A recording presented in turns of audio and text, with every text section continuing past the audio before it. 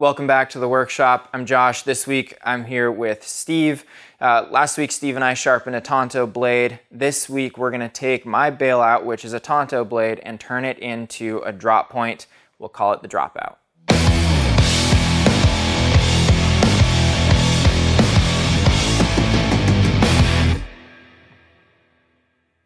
So I think what, what would be fun to do, uh, this is my bailout.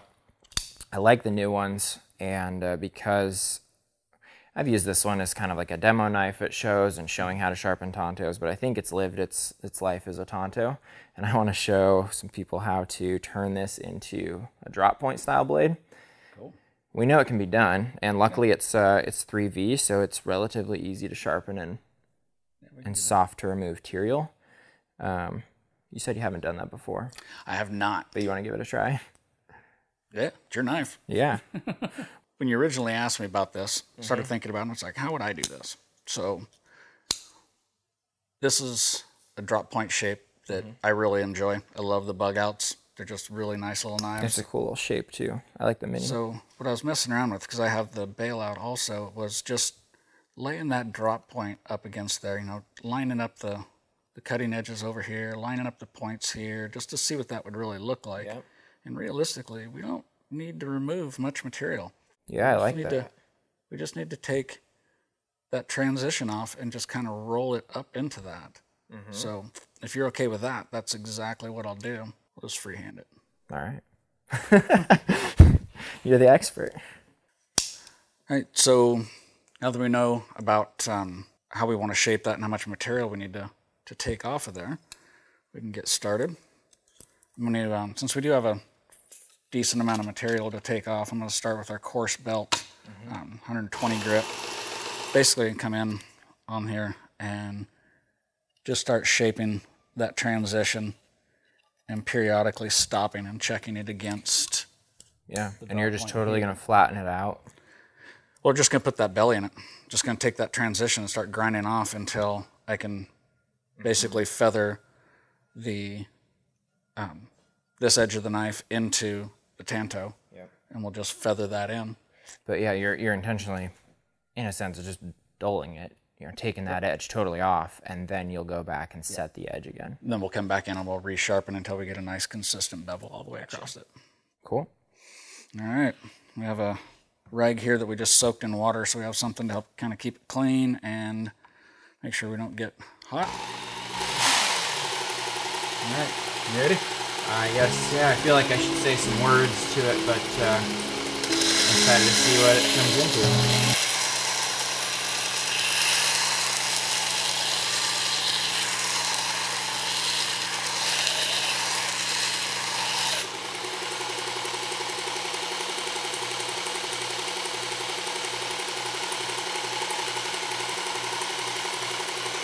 Start.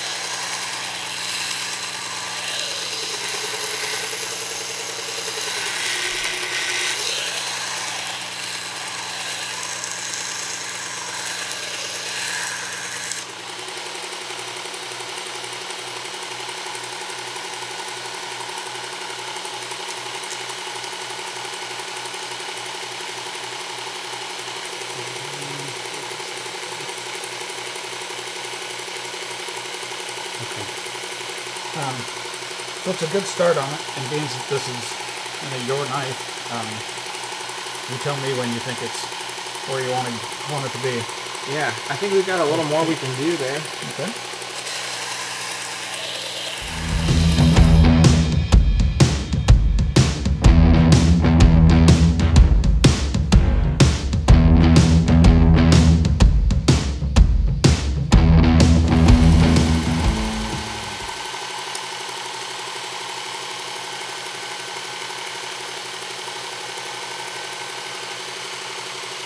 Just got a tiny bit more belly than the Bugout in there, but I actually really like that.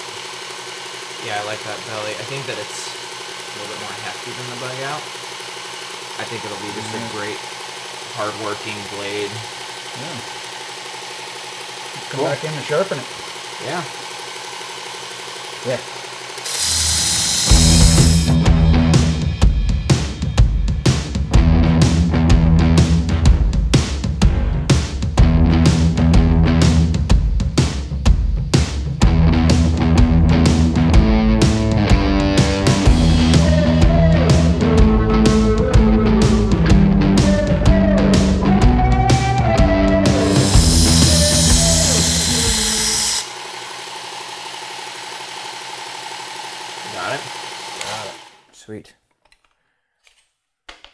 Feel like it's worth. Uh, I feel like it's worth setting this in its pile of debris here, so it can be reacquainted with with its pieces. yeah, through this process too, I think it's even. It's probably taken on even. Oh, it's still yeah, still a little steeper belly there, but Shouldn't be bad though. it follows that. I really like that shape. It's got a good shape to it though. I'm pretty happy with that. Yeah, yeah, nice work for the first time too.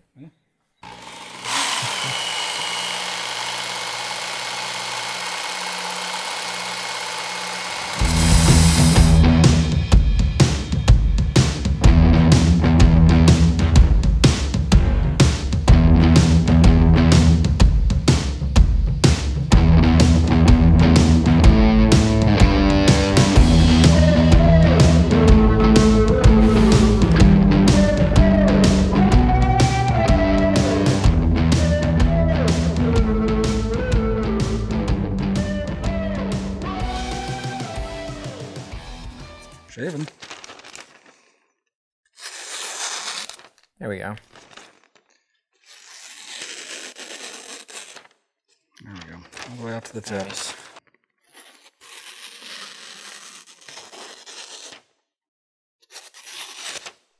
Nice. That's smooth. Thanks for watching the bailout turn into a dropout. Steve sharpened this on the Elite knife sharpener. Uh, if you're going to use a powered sharpener like that, keep a wet rag or sponge, something nearby. Watch for heat as you're removing a lot of material. And I'd recommend using a, a Sharpie to mark out the blade shape that you want. Steve did this freehand using the template of the mini Bugout. That's also a great way to do it. Find a knife that you like the profile of and trace that shape onto the tanto or whatever the blade is that you're reprofiling.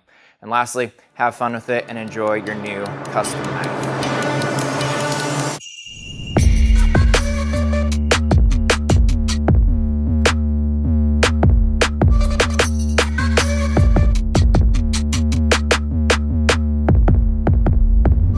Are our two giveaway winners this week.